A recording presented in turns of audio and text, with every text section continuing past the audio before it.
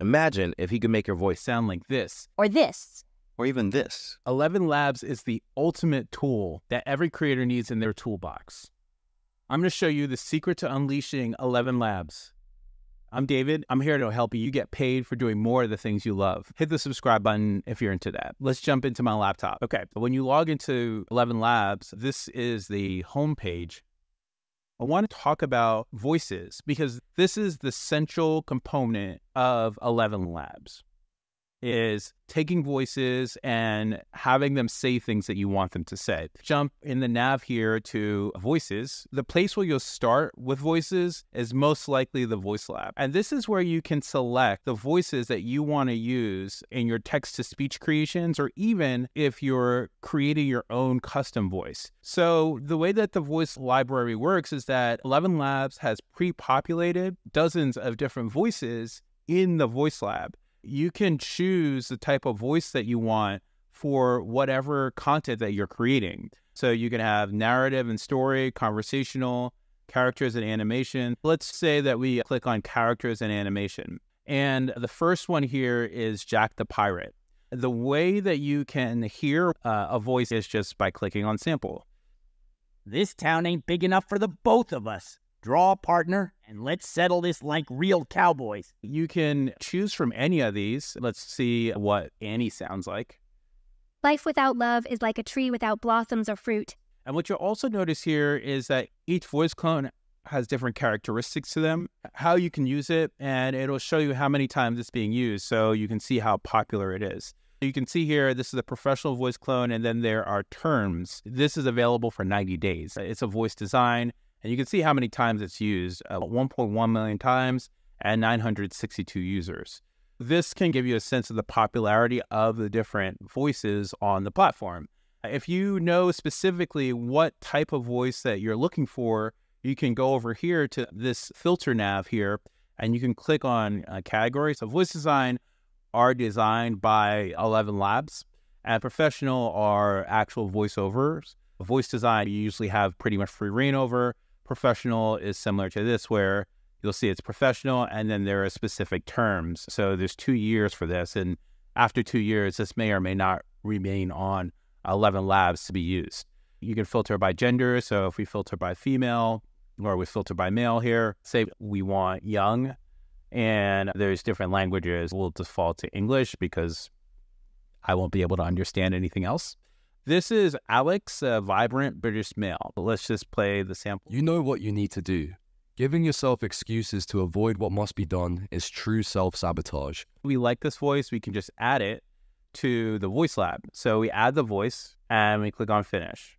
And then if we go over to voice lab over here, we will see down here at the bottom, Alex. So we just added this voice here and then we can use it. But you have to add voices to the voice lab before you can actually use them. What are some other ways that we can add voices to the Voice Lab?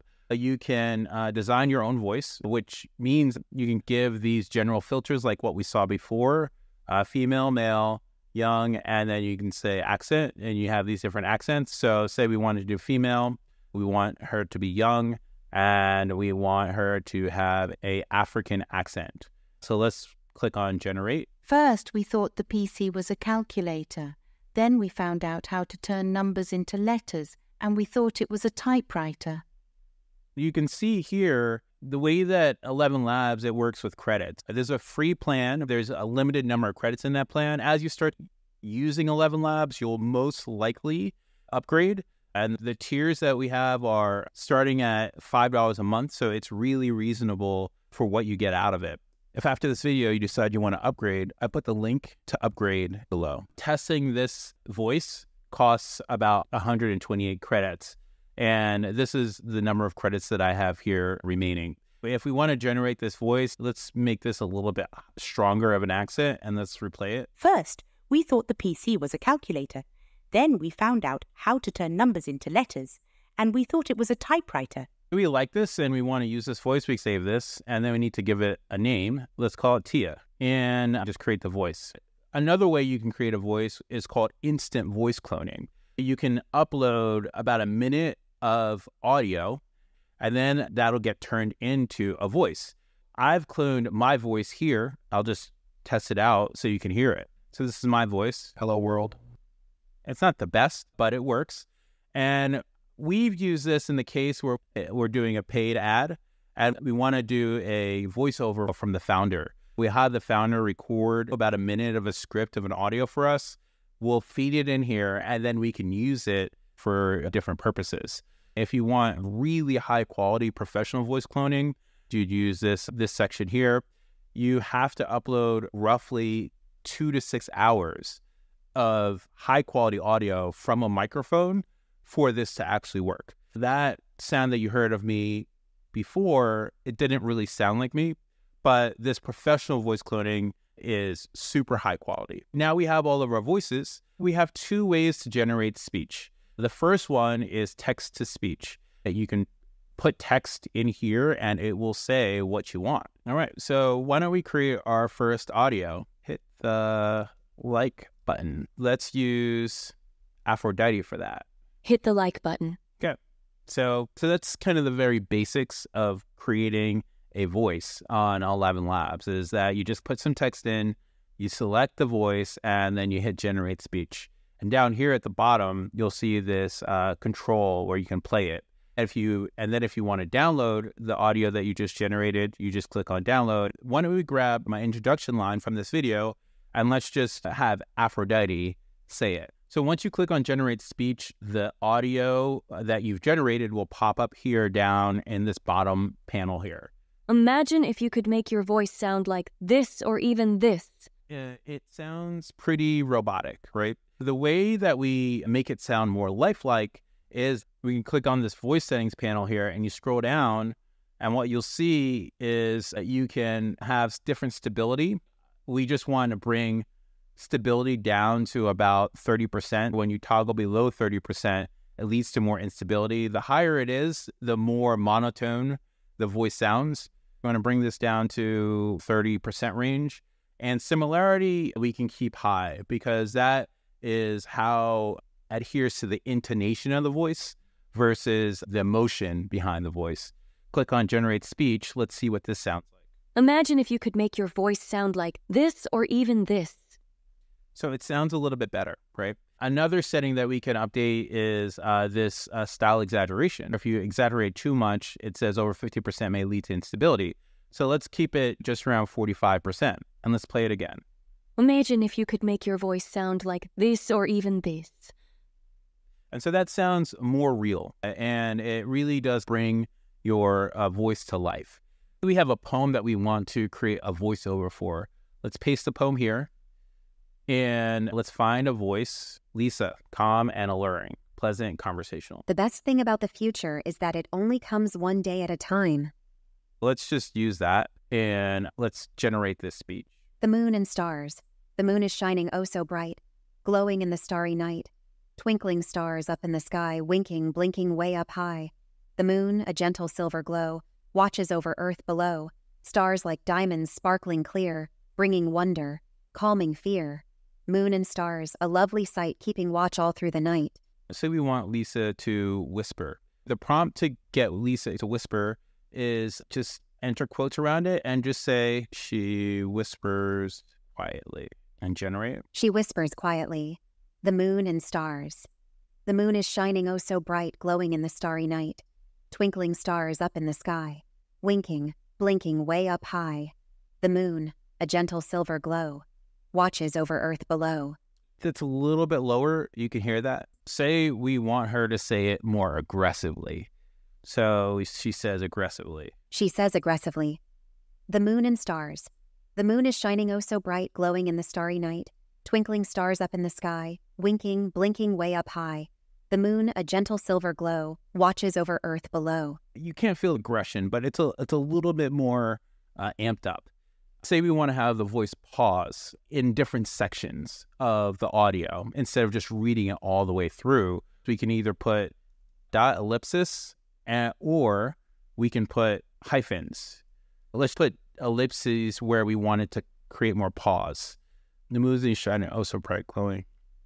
Let's put some here, and if we want to have it here, and then we want to have it here, And if we want the end to be a little bit more dramatic, we could do this. The moon and stars. The moon is shining. Oh, so bright glowing in the starry night. Twinkling stars up in the sky, winking, blinking, way up high. You can hear how that changed. Say we wanted to add a three second break after the voice reads the title. Well, let's do that. Let's get rid of these ellipses and let's add a break time at three seconds. Click on generate speech. The moon and stars. The moon is shining. Oh, so bright glowing, E in the starry night. Twinkling stars up in the sky, winking, blinking, way up high. That three second break. Did you hear that? Now, if you really want to control the speech, I'm going to show you how to use speech to speech. Now, speech to speech is really cool because what you can do is you can take an uploaded audio or you can record the audio. We click on the record button. I'm just going to record this audio here. The moon and stars. The moon is shining oh so bright, glowing, starry in the night. Twinkling stars up in the sky, winking, blinking, way up high. And so that is my rendition of the moon and stars. Thank you. Thank you. Let's pause it. And then we can have Lisa recite the poem the way I just read it. I'm just going to record this audio here. The moon and stars. The moon is shining oh so bright, glowing, starry, in the night. Twinkling stars up in the sky, blinking way up high. And so that is my rendition of the moon and stars. Thank you. Thank you.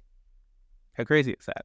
So that's really how you can control the emotion behind audio. You can read it yourself, or you can have someone read it, and then you can overlay an ElevenLabs voice on top of it. And so that's a really powerful thing is that you don't have to just rely on typing text in or even trying to add these tags or spaces. You can direct the AI to say what you want, how you want to say it. Okay, so that's how you use uh, text to speech, speech to speech. That's how you get emotion out of the voices. Say we want to take an audio that we've generated and we want to dub it into a different language. We can create a new dubbing project, have this say test dub. It'll automatically select the language, but we can select English and then we can just click on Spanish. And we can just drag and drop the audio that we just generated. And this is what the audio sounded like before. The moon and stars. The moon is shining. Oh, so bright glowing in the starry night. Twinkling stars up in the sky, winking, blinking, way up high. Let's just create this. It'll take a second and you can see it processing here and then you can view it. Come view and then we can just play it. Yes. O tan brillante, resplandeciendo en la noche estrellada.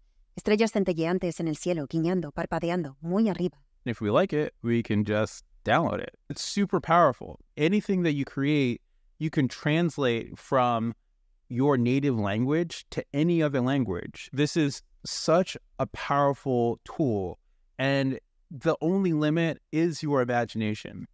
Thanks so much for watching this video, guys. If it was helpful, hit the like button so more people can see it. If you want more videos like this, hit the subscribe button. I'll talk to you guys next time. Peace.